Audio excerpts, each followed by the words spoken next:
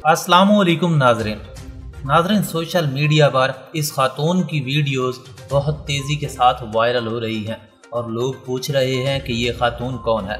नाजरीन, आपको बताते चलें कि ये खातून नौशहरा की एडिशनल डिप्टी कमिश्नर है, जो लोगों को घरों से इसलिए निकाल रही है कि सैलाब आने का बहुत ज़्यादा ख़तरा है।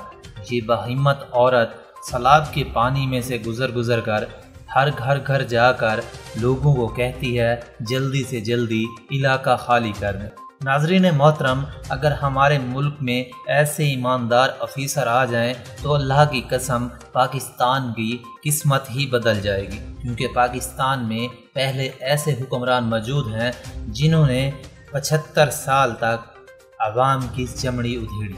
आवाम के टैक्सेस से जमा किया हुआ पैसा खुद हड़प किया। नाजरीन, आप क्या राय रखते हैं इस औरत के हवाले से? अपनी राय का इजहार कमेंट्स बॉक्स में ज़रूर करें। वीडियो को लाइक कर दें। शुक्रिया।